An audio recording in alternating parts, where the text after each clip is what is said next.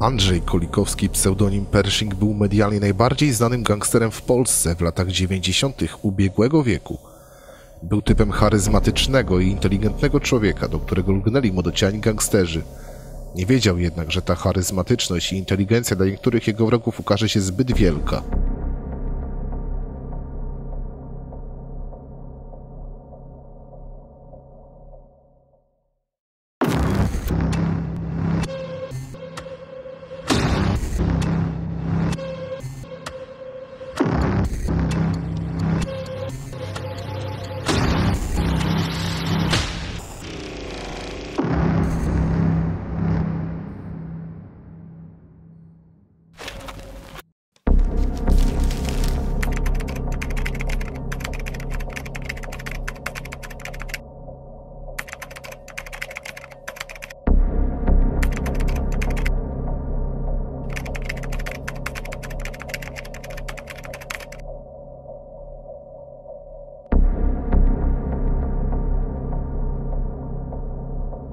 Andrzej Kolikowski urodził się 19 stycznia 1954 roku w Ołtarzewie.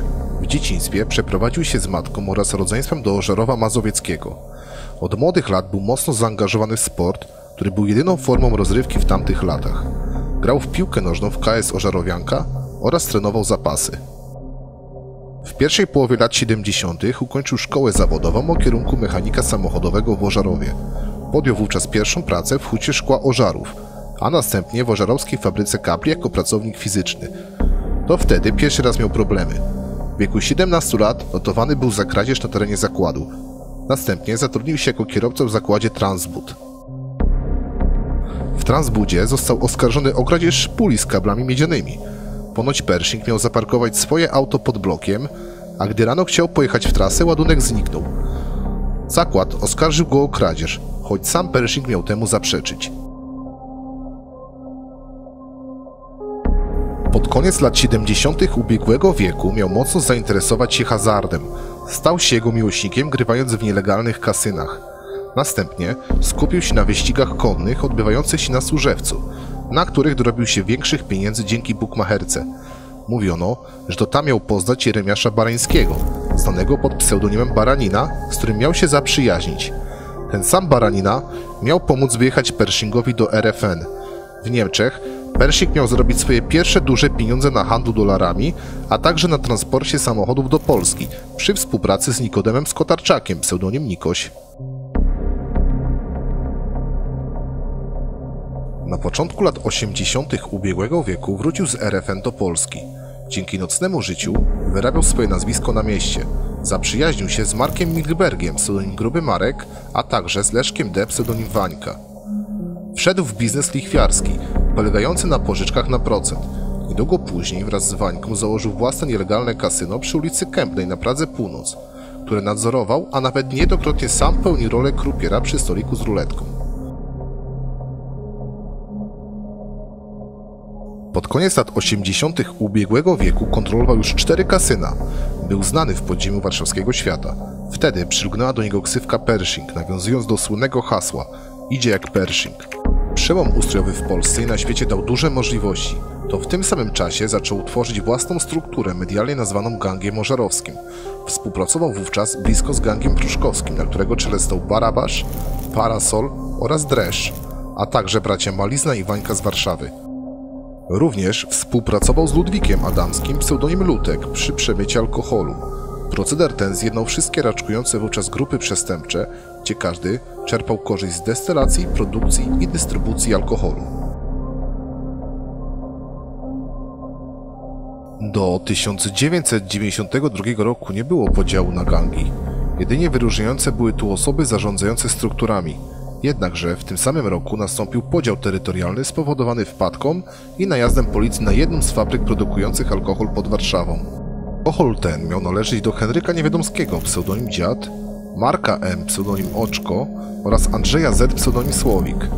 Winą obarczono dziada, a ten wraz ze swoim bratem Wiesławem Niewiadomskim, pseudonim Wariat, jako liderzy gangu Ząbkowsko-Praskiego oraz Marianem Klepackim, pseudonim Maniek i Ludwikiem Adamskim, pseudonim Lutek, liderami gangu Wołomińskiego, odłączyli się i prowadzili swoje niezależne interesy.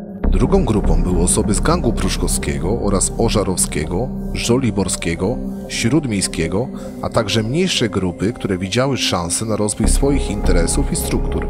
Od teraz powstał medialny podział na mafię pruszkowską i mafię wołomińską.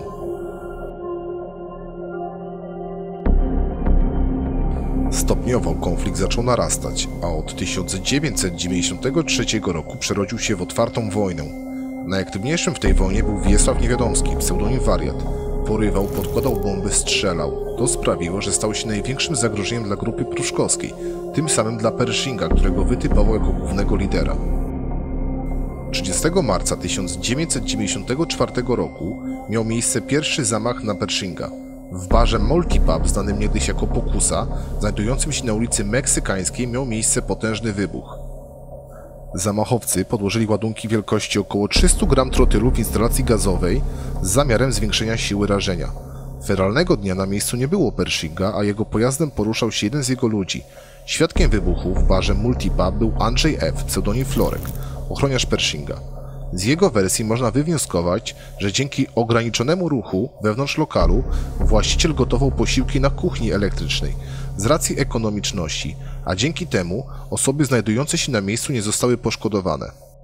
Zamachowcy są nieznani do dziś, jednakże zleceniodawca był znany od początku. Był nim Wiesław Niewiadomski, pseudonim Wariat. Rok 1994 był bardzo intensywny w zamachy i dintoiry na terenie Warszawy. Po marcowym zamachu na Pershinga wariat ponowił próbę po niecałym tygodniu. Na początku kwietnia zamachowcy, prawdopodobnie sam wariat i niejaki Orwat, człowiek Nikosia, zaczaili się pod domem Pershinga w Ożarowie. W godzinach wieczornych, gdy w ich mniemaniu Pershing wychodził z domu, podbiegli do niego i oddali trzy strzały – jeden w ramię oraz dwa w korpus, a na koniec odbezpieczyli granat i wrzucili go do środka. Lecz nie doszło do eksplozji. Okazało się, że postrzonym nie był Pershing, lecz jego ochroniarz i przyjaciel Andrzej F. pseudonim Florek. Po trzech miesiącach nastąpiła kolejna próba zamachu na Pershinga – 24 lipca na terenie torów wyścigów konnych w warszawskim Służewcu około godziny 19 w alejce obok budynków dyrekcji eksplodował Mercedes-Benz W124 należący do Pershinga. Nie wiadomo do dziś, czy celem miało być sam pojazd, czy eksplozja nastąpiła za szybko. Niemniej jednak te wydarzenia spowodowały vendettę i zemstę osób związanych z Pruszkowem na wariata i grupę wołomińską. 11 sierpnia 1994 roku, gdy w Warszawie toczyła się wojna gangów, Pershing wraz z bliskimi mu ludźmi udali się na wakacje do Sopotu. Pech chciał, że warszawscy gangsterzy zostali aresztowani podczas braworowej akcji pomorskiej policji. Zarekwirowano wówczas broń i znaczną ilość gotówki, a Pershing trafił do aresztu. W półświadku wyszła fama, że do zatrzymania miał przyczynić się Nikoś i wariat – po przetransportowaniu go do Warszawy usłyszał zarzut wymuszenia 40 tysięcy dolarów od właściciela myni samochodowej na Żoliborzu, a także o paserstwo. Podczas toczącej się sprawy lubelski sąd w listopadzie 1995 roku oskarżył Kolikowskiego o porwanie i brutalne pobicie dwóch radomian, nieoficjalnie członków radomskiego gangu, nazywanego gangiem karateków. Gang z Radomia miał napaść i okraść Wiesława P., pseudonim Wicek, a ten o sytuacji miał opowiedzieć samemu Pershingowi, który miał mu pomóc. O ile w sprawie porwania i pobicia został uniewinniony, o tyle w sprawie wymuszenia został oskarżony i skazany w 1996 roku na dwa lata więzienia. Za krat Pershing dalej pełnił rolę zarządczą w gangu ożarowskim. Jego najbliższymi ludźmi byli Paweł M., pseudonim Małolat, Robert B., pseudonim Bedzio Zdzisław K., pseudonim Profesor, Piotr F., pseudonim Sznyt, czy Andrzej F., pseudonim Florek, Dariusz P., pseudonim Bolo Grodziska oraz Janusz G., pseudonim Graf. Mury więzienne opuścił w 1998 roku i z garstką swoich ludzi i interesów postanowił znowu wrócić do gry. Duża część jego interesów została zagarnięta przez członków grupy pruszkowskiej, którą ci niechętnie chcieliby mu oddać. Powstawały pierwsze utarczki, które wtedy nie zwiastowały jeszcze nadchodzących zmian. Pershing zmęczony był typową gangsterką. Szukał legalizacji i możliwości inwestycji swoich dochodów. W drugiej połowie 1998 roku zaczął inwestować pieniądze na Pomorzu, otwierając dyskotekę w Sopocie czy słynną firmę fonograficzną General Group z Rumi. Pomimo jego legalizacji, dalej czerpał korzyści z nielegalnych interesów, które robili jego ludzie. W tym samym roku do Pershinga przyłączył się Jarosław S., pseudonim Masa, dziś już były świadek koronny, wówczas lider tzw. Młodego Pruszkowa, czyli grupy młodszych gangsterów z okolic warszawskiej aglomeracji. Masa i jego ludzie byli grupą zbrojną dla grupy pruszkowskiej.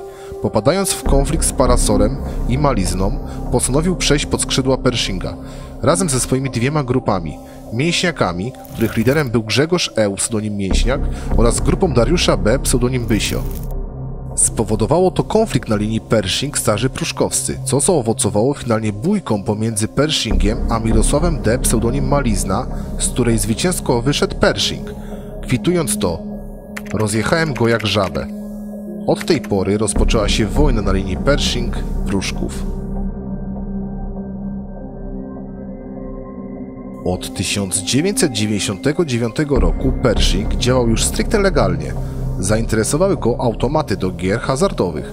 Lukratywny rynek i zainteresowanie hazardem skłoniło Pershinga do wejścia w ten interes. Automaty do gier, zwane pospolicie jednorękimi bandytami, rozstawiane były po całej Polsce, a zyski, które generowały, śmiało mogły przebić interesy narkotykowe czy napady na ciężarówki. Po niedługim czasie gangsterzy z grupy pruszkowskiej próbowali wejść w ten rynek, a gdy to się nie udało, próbowali wymusić procent zysków od samego Pershinga. Rozpoczęła się otwarta wojna pomiędzy dawnymi przyjaciółmi z jednego syndykatu zbrodniczego. Finałem tego konfliktu był zamach na Pershinga. 5 grudnia 1999 roku Pershing wraz z przyjaciółką, 21-letnią studentką ze Szczecina Patrycją R. odpoczywał w Zakopanem. Zjeżdżał na polanie Szymoszkowej ze stoku. Około godziny 16 opuszczał knajpę i chował sprzęt narciarski do swojego Mercedesa-Benz S500. Wtedy na bliską odległość podjechało Audi 80, wysiadło dwóch pasażerów, jeden stał przy samochodzie z reklamówką oddając strzały w powietrze, a drugi podszedł do Pershinga. Mówiąc do niego co teraz, oddał kilka strzałów w jego kierunku oraz jeden strzał w jego przyjaciela Wojciecha U. Na miejscu szybko zjawiła się pomoc, lecz Pershing zmarł w trakcie akcji ratunkowej. Osobą, którą miała zlecić morderstwo Andrzeja Kolikowskiego był Mirosław D. pseudonim Malizna, a osobami wykonującymi to Ryszard Bogucki, Ryszard Niemczyk pseudonim Rzeźnik oraz Adam K. pseudonim Dziadek. Jest dużo kontrowersji wokół jego śmierci. Przykładowo, Patrycja R. zniszczyła kartę z telefonu komórkowego należącego do Pershinga. Czy mogła być w zmowie z osobami związanymi z zabójstwo? Świadkiem koronnym do sprawy był nieżyjący już dziadek, a do tego zamachu przyznał się rzeźnik, potwierdzając jego wersję, jakoby miało być to porwanie dla okupu, które przerodziło się w zabójstwo. Jedyną osobą, która do dnia dzisiejszego nie przyznaje się, jest Ryszard Bogucki. Walczy on o oczyszczenie swojego imienia i przedstawia nowe fakty, które mają świadczyć o jego niewinności. Jak choćby niejaki Mariusz J., który był widziany z rzeźnikiem i dziadkiem w czasie zabójstwa Pershinga. Czy gangster notowany jako numer jeden w Polsce, śledzony całe dnie i noce, nie był monitorowany przez ówczesne służby? Czy może to służby są zamieszane w jego morderstwo w związku z interesami, jakie prowadził, a oskarżone i osądzone osoby o te zbrodnie są skazane bezpodstawnie?